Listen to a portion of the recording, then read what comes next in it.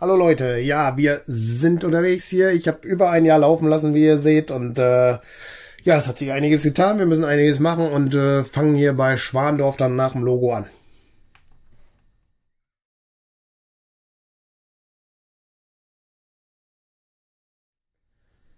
Ja, hier hat sich tatsächlich vom Hausbau nichts getan, sondern diese Straße ist, glaube länger geworden. Wir machen mal die Straße, äh, die, die Karte auf und gehen dann nach Lippstadt. Lippstadt hat sich, glaube auch nichts getan. Vielleicht sind da Gebäude mehr geworden, aber sonst nix. Jetzt gehen wir hier nach äh, Erlangen. Ich glaube, Erlangen hat hier diese Ecke vielleicht gemacht, weiß ich aber nicht. Wir gehen weiter nach Winenden. Winenden versucht hier die Straße wohl zu schließen. Da hat sich aber sonst auch nichts für uns getan. Dann kommen wir nach Friedrichsdorf und da hat sich was getan. Da haben wir hier ein wunderschönes Segelboot bekommen. Das gefällt mir richtig gut. Sieht hier 1602 war das Schiff. Anlehnung an ein Spiel. Ich weiß nicht, wer es weiß. Äh, ja, ist schon krass. Und äh, ja, die Straße hier finde ich voll cool. Hat sich hier hinten komplett geschlossen. Das ist richtig stark. Wir müssen jetzt hier definitiv dann eine Bushaltestelle hinzaubern, die dann da liegt. Da schauen wir dann mal los, dass wir da diese Straße verlängern. Dann die Bushaltestelle dorthin machen. Und dann haben wir das auch abgedeckt. Ja, das passte ja. Da ist die Bushaltestelle. 1, 2, 1, 2. Ja, passte. Und äh, dann müssen wir jetzt natürlich noch eine Kutsche finden. Da ist eine Stadtbus, Fahrplan und hinzufügen Rathaus dann zu der zweiten Haltestelle, die dann da ist. Und das ist natürlich ein großes Denkmal oder was es ist, öffentliches Eigentum, Denkmal und das hat dann Passagieraufkommen 11 und Postaufkommen auch 11. Also da tut sich was. Ab 1602 ist es gebaut. Naja, das glaube ich nicht. Da waren vielleicht die Schiffe gerade unterwegs, die da stehen. Ja, das Schiff ist vielleicht derzeit gebaut. Das könnte sein.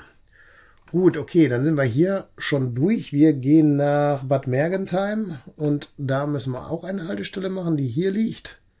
Und das bedeutet, wir müssen dort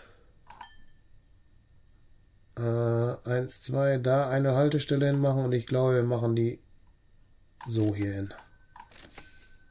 Und dann da. Dann ist das auch abgedeckt. Doof ist nur, wenn dann eine Haltestelle hier demnächst kommt. Ja, dann ist das halt so, ne? Dann ist die da. Da müsste sie hin. Dann wäre es richtig. Mal schauen, wie sich das entwickelt. Äh, hier eine Kutsche, Stadtbus, Fahrplan. Da geht noch was. Wo ist das Rathaus? Hier. Ja, wir fangen mit dem Rathaus an und fahren nach da. Passt, neu angerichtet, läuft. Ja. Dann geht es weiter nach Achem. Da ist diese Grenze. da muss eine Mauer sein. Da wird einfach nicht weiter gebaut. Aber naja, das Städtchen wächst und gedeiht bestimmt auch aber halt intern. Solche Häuser wie hier, die sind ja viel größer geworden. Ne? Da sieht man ja jetzt hier drei und drei aufkommen. Deswegen, da gibt's noch eins mit drei und zwei aufkommen. Äh, da sieht man, dass die Stadt intern schon größer wird. Und hier sind ja auch noch Freiflächen, die vielleicht auch bebaut werden. Neubrandenburg sind wir dann. Da ist noch nichts. Hier, das wird wächst zu. Hier ist wieder so eine Straße, die so aussieht, als ob es ne, nicht mehr weitergeht. Aber das wird schon werden hier. Dann gehen wir nach Gollern. Ja, die sind schön dicht hier am Wachsen und ich glaube, das Zentrum wird auch immer mehr voll. Das sieht erstmal gut aus, da brauchen wir nichts machen. Jetzt fahren wir bei Jena vorbei. Bei Jena ist dieses Haus und da fällt natürlich auf, hier ist irgendwas mit den Bushaltestellen falsch gelaufen. Ne? Also hier und hier ist nicht parallel. Da haben wir was falsch gemacht damals. Wahrscheinlich. Eins, zwei, eins, zwei. Die Bushaltestelle da musste dahin, aber vielleicht ist da das Haus gewesen. Ja, nicht schlimm. Jetzt machen wir halt hier dann weiter. Die muss jetzt da in die Bushaltestelle, ne? Jetzt müssen wir nur gucken.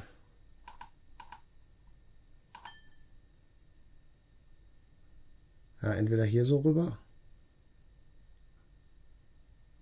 Oder von da so rum. Aber ich glaube, wir gehen von hier so rüber.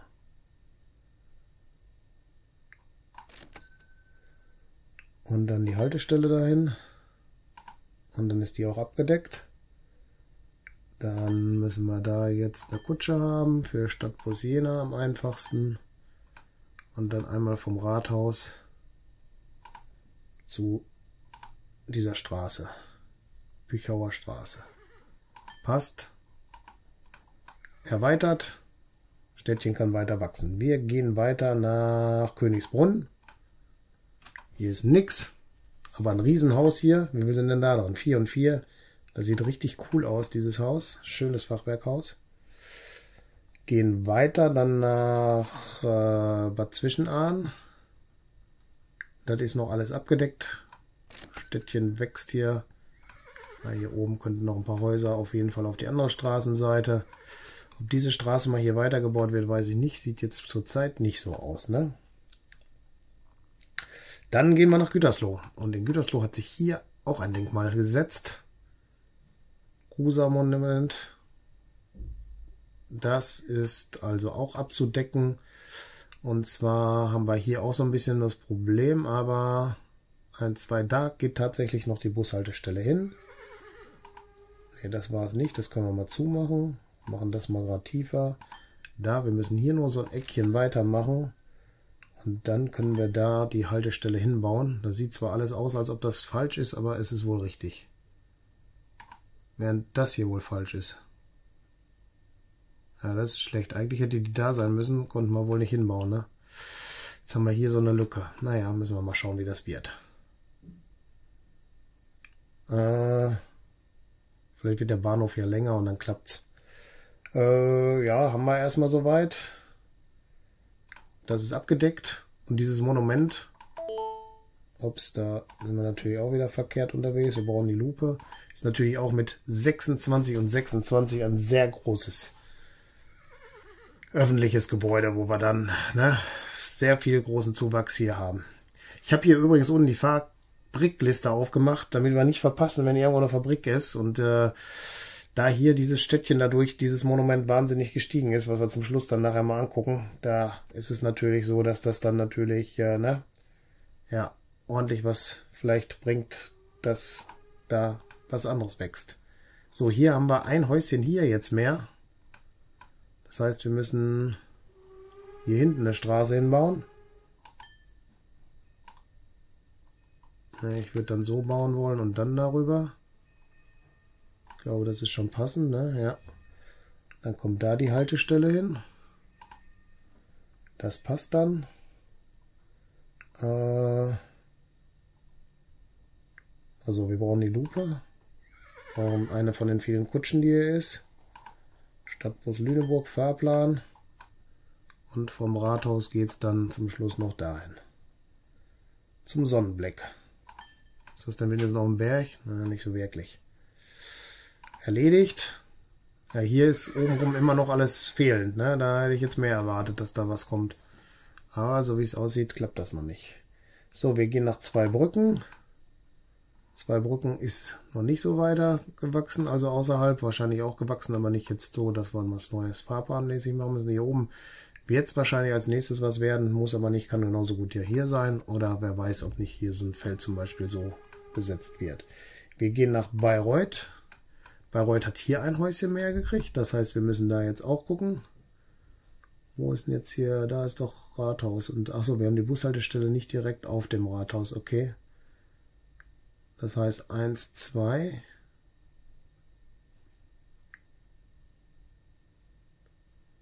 Das heißt, da muss schon die Bushaltestelle hin.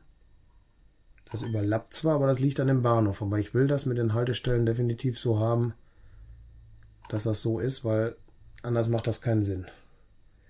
So, dann die Lupe an, dann so eine Kutsche erwischt und dann hier Fahrplan ändern das hinzu und das hinzu. Und dann haben wir da noch eine Haltestelle mehr in Bayreuth. Hier diese Straße ist auch ein bisschen größer schon geworden. Das Städtchen möchte auch wachsen. So, Bayreuth haben wir. Dann gehen wir nach Willig. Willig ist noch in seinen Stadtgrenzen. Ich glaube, dieses Zipfelchen hier ist schon über den Rand hinaus. Das ist mehr geworden. Dann sind wir hier bei Bünde. Bünde, ja, kommt nicht raus aus seinem Schlaf hier. Dann sind wir bei Ettlingen. Ettlingen, ja, versucht hier das zuzubauen. Ich weiß nicht, ob hier was länger geworden ist. Könnte sein. Und dann sind wir bei Willensdorf.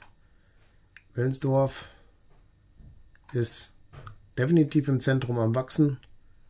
Hier hinten ist einer. Ich glaube, dieses Stück hier ist vielleicht dahin gekommen. Das weiß ich nicht. Aber ich glaube schon. Bin ich gespannt. So, dann sind wir schon definitiv einmal rum, weil hier sind wir gestartet. So, dann würde ich sagen, können wir die Karte einmal zumachen. Das können wir auch zumachen. Das bleibt offen, weil wir wollen ja gucken, wann die Fabriken kommen. Das, was ja keine Fabriken sind, sondern wahrscheinlich eher Landgüter. Ein Gut auf dem Land hört sich besser an wie Landgüter, oder? Äh ja, das heißt, wir können jetzt nochmal schauen, dass wir hier Ne, Linie wollte ich gar nicht. Hier eine Liste aufmache. Einmal in die Haltestellen nochmal reinschaue. Warten. Achso, wir wollten. Ah, das machen wir dann erstmal kurz einmal noch hier in die Linien reingeschaut. Neubrandenburg stehen jetzt die meisten Leute. 170. Und da sind hier unten Hans Eisler Straße und Neubrandenburg Ebernholz. Sind jetzt reichlich Passagiere zu transportieren. Eisler und Ebenholz. Das sind diese zwei hier, ne? Ja, das ist. Das ist schwierig. Das geht da auch nicht so richtig voran jetzt, weil wir sehr viele Kutschen auf dem Weg haben, ne? Ob das, die vielen Kutschen das bringen, ist die nächste Frage, weil die stehen ja eigentlich die meiste Zeit nur Schlange, ne? Obwohl, wenn sie hier fahren, sind sie weit auseinander, dann geht's eigentlich, ne? Aber mehr drauf machen macht auch keinen Sinn, ne? Bin ich fest von überzeugt, dass das keinen Sinn macht. Müssen wir mal gucken, wie wir da weiter vorgehen. Also das ist, ist eine Schwierigkeit. Ne? Vielleicht tut sich dann irgendwann mit einer Straßenbahn auf, aber die ist definitiv noch nicht zu bauen. Gütersloh ist aber grün angezeigt, da sind aber auch ganz viele Passagiere am Stehen, ist klar, hier 163, davon sind 84 nach Weinberg. Und ah, ich weiß gar nicht, wie viel sind denn hier auf der Linie drauf. Fünf Fahrzeuge. Ja, hier können wir aber definitiv noch was drauf machen dann.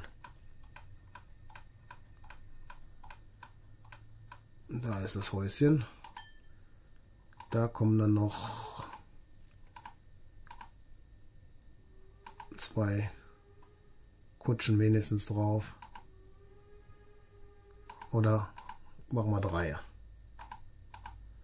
Jagt die da alle raus. Und 85, das sind nochmal 34, zwei Brückenburg. Ne, das ist Zugfahrt. Aber das ist ja auch schon mal nicht so schön dann. Aber da müsste jetzt ein Zug dann kommen. Welcher ist denn das? Hm, Bad Zwischenahn, der fährt anders. Zwei Brücken müsste nach Süden, der müsste von hier unten kommen. Ah, da kommt auch einer. Dann wird das wahrscheinlich gleich passen, oder? Dann haben wir hier Achem. Aber Achim weiß ich definitiv, dass das auch schon reichlich Kutschen sind, wie wir sehen.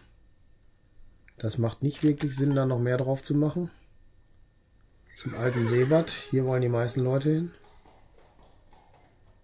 Das müssen wir mal gucken, wie wir das hinkriegen, ne? Königsbrunn. Rathaus.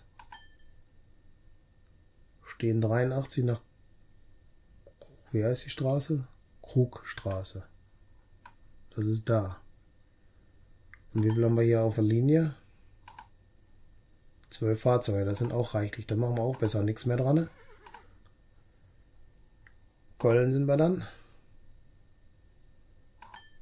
Rathaus.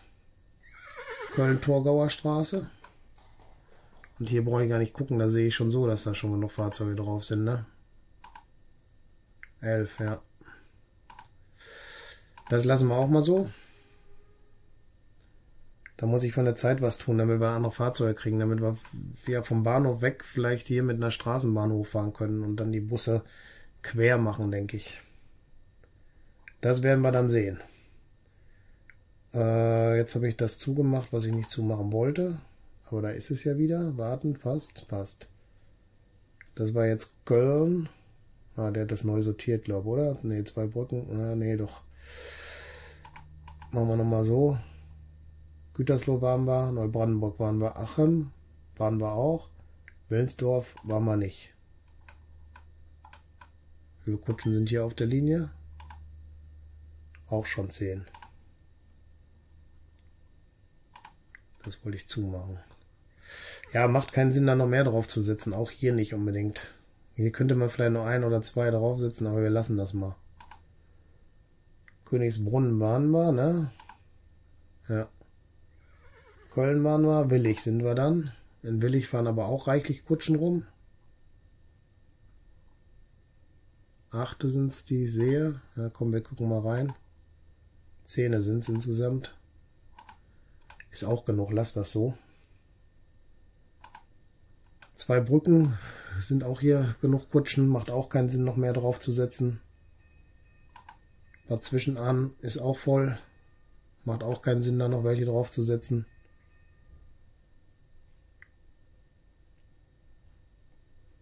Dann haben wir ich glaube, hier sind nicht so viele drauf. Kann das sein? Auch, auch schon zehn. Ja, und hier sind tatsächlich Bereiche, die ja hier, wie das hier, hätte hier eigentlich noch ein Zu äh, Dingens, äh, Verbindung.